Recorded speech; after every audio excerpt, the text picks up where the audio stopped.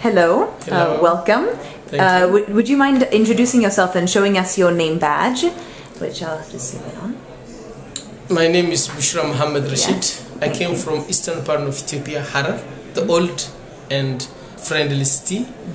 Uh, it's UNESCO registered city of uh, the east side of Ethiopia. It's one of 1,000 years old. It's very old city where water is scarce. But recently, with ADB, African Development Bank, financed the project is almost completed and now in commissioning stage. Now Great. the- what project is that? Harar Town Water Supply and Sanitation Project is uh, more than uh, 30 million USD uh, projected. Now we have come part of the institutional capacity building. In the past week, we have been in Holland, Netherlands, for good governance in water service sector, and this the water stock uh, World Water Week in Stockholm is uh, to get an exposure of international experience because all over the world the companies who engage in water is in Harar. So uh, we are here to get a lot of experiences uh, from because here so many international donors, manufacturers, suppliers, ministers, consultants, so many firms are here.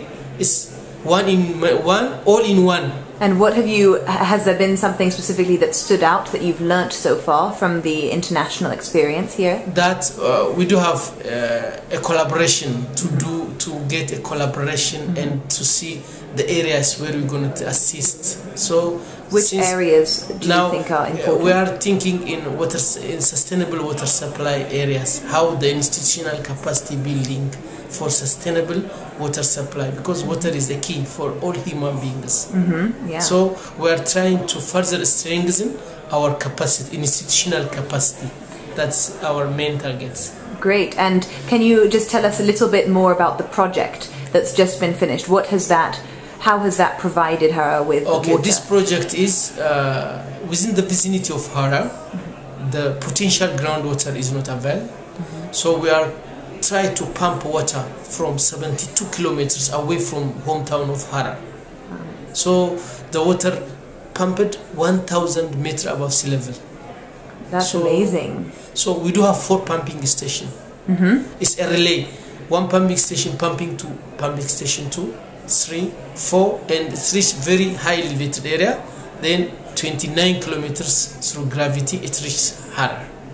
Great. So now we are looking for environmental uh, sh- uh, watershed management, mm-hmm. Mm-hmm. the for watershed management around the, the source areas.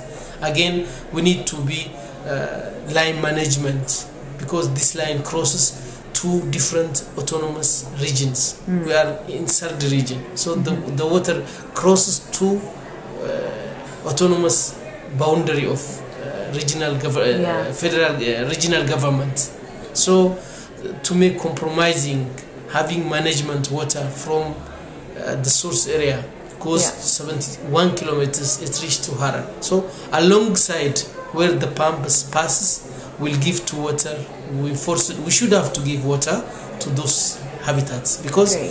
for sustainability it, sh it must be uh, water supply for them now they think it is ownership they are getting water from that source so Yeah. uh, now means of ownership is there Yeah. Thank you for sharing. That's